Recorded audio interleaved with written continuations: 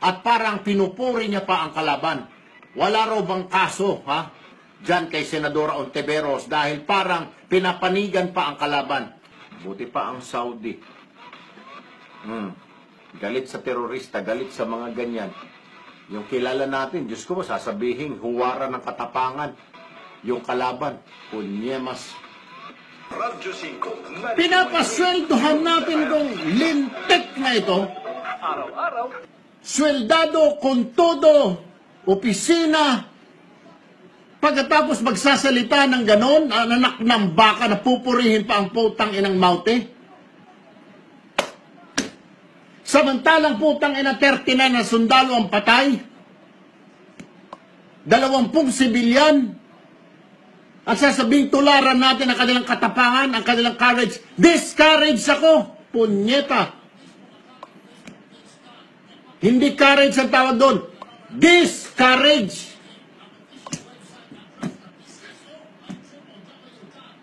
Resilience? Anong resilience doon?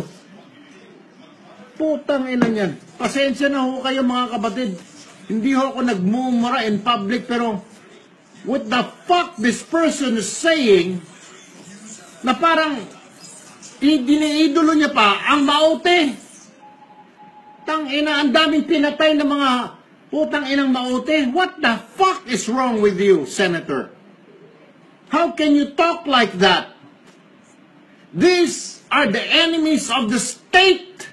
Kalaban ng Estado. Miyembro ka ng Estado as a senator. How in the fuck you can say na they are the epitome of courage and resilience? Ma'am, para mong sinabi yung pumatay sa kapatid mo, ha, pumatay sa nanay mo at tatay mo, sasabihin mo suddenly, ay, huwaran siya ng katapangan at resilience. How can you say that? Pumatay ito ng kamag-anak mo. Being a Filipino, yung mga napatay na Filipino. We are like one family, Senadora. We are one family. Ang apelido, sabi ko nga, ang apelido natin ay Filipino. Erwin Filipino, Risa Filipino, ah, Ning GM Filipino. We are one. We are Filipinos. We are one family. Entonces, kung may pinatay sa atin, it's like may pinatay na kapatid mo. Can you call yung mamama, pumatay sa kapatid mo as courageous? Uy, mathuwaran siya, nakatapangan. Pinatay na yung kapatid mo o tatay mo, nanay mo, sasabihin mo pa rin, huwaran ng katapangan, iniidolo ko sa katapangan. Putang ina niyan. How in the fuck did you come to that conclusion? Sons of bitches. I do not know. I, I really, I really, I am shocked. Kahapon ko pa ho naririnig ito mga kapatid na si so, Sec- Senator Ontiveros daw nagpa-interview. Eh akala ko naman fake news. Kanina finally napanood ko po yung transcript, yung yung interview, yung buod ng interview niya sa TV. Sa UNTV ko napanood. Kaya maging yung nag-interview sa kanya natataranta eh. Hindi makapaniwala eh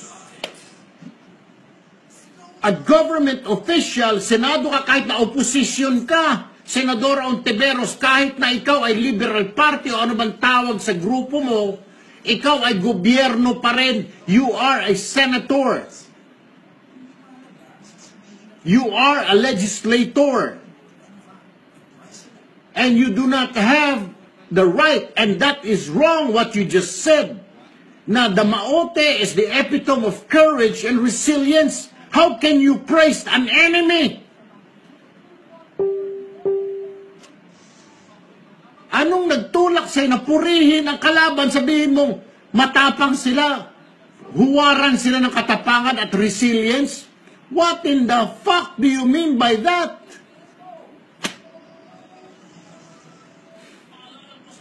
Siguro nga, Rovic, I, I don't wanna say it. Siguro nga, supporter sila ng punyetang maute. Siguro nga,